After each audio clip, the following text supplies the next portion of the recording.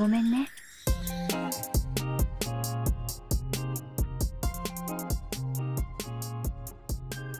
Well, I started like dabbling with art um, when I was a kid because my mom was an art teacher, um, just like she did middle school always. We did a lot of crafts at home.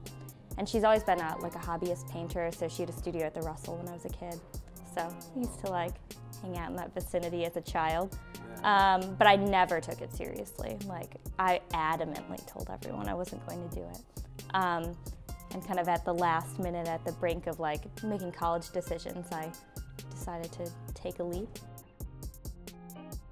Building the show at its core being called Fresh Squeezed um, is kind of indicative of what we're using as this main symbol um, to carry through. So the orange is a big thing within this narrative because it is that link between like a very normal item um, and something that has been highbrow in like art history.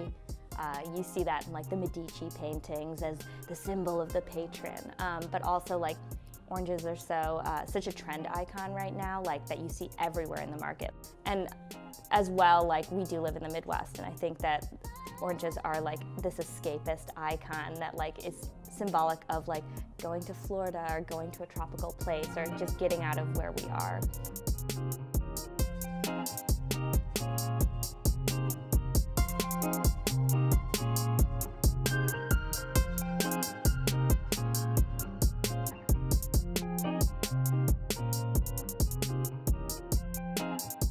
フフフ。